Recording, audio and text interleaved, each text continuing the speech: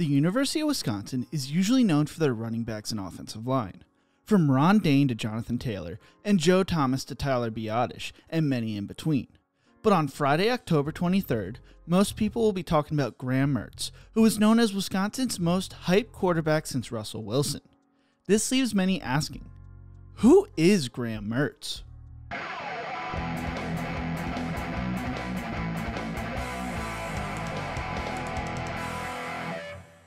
In the Who Is series, we go through the backstories of up and coming collegiate and professional athletes. If you like what you see, like the video and subscribe to the channel. Graham Mertz grew up in Overland Park, Kansas. Being a suburb of Kansas City, Overland Park has a very high population. Now, because the population is so high there, there was a lot of competition for sports teams.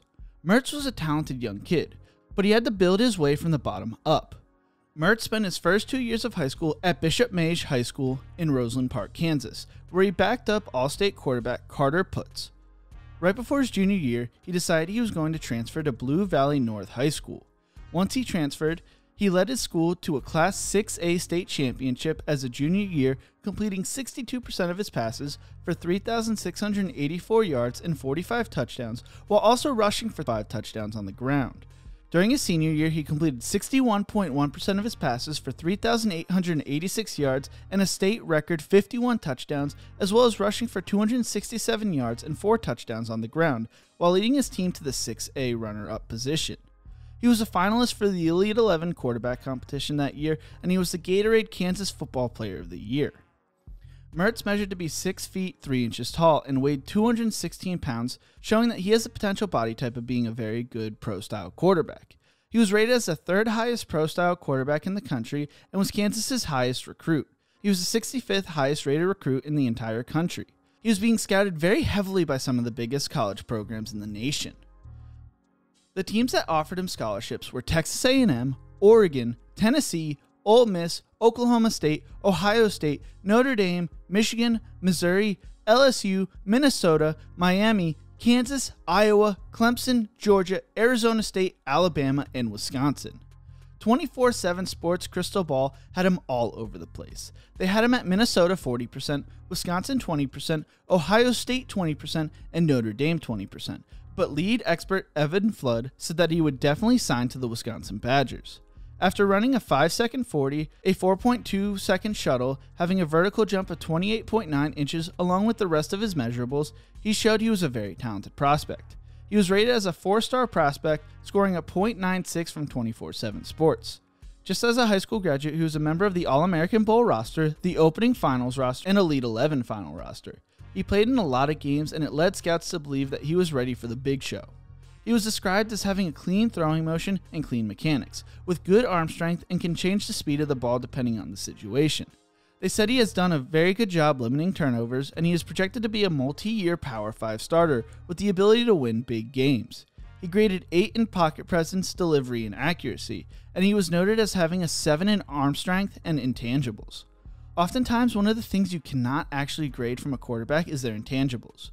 Mertz was believed by many scouts to have the thing that makes him something special. Well, of all the offers he received, Wisconsin was the most intriguing one for him. He originally received an offer from Kansas his junior year, and since they were in state, he went and visited their campus.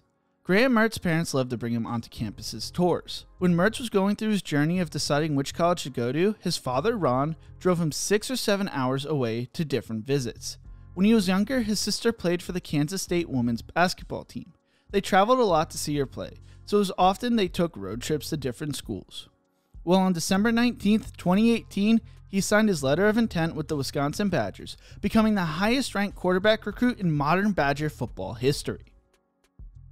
Before Mertz even got to Wisconsin, his name was already in the headlines during the All American game when he led the East to a 48 14 win over the West.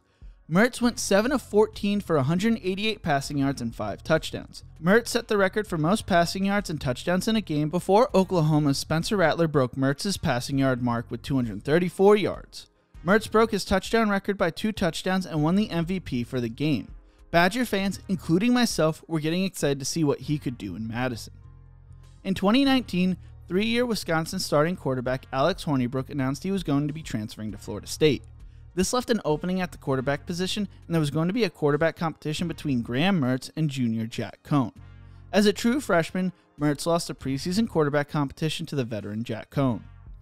Mertz appeared in two games during the 2019 football season, going 9 of 10 for 73 yards.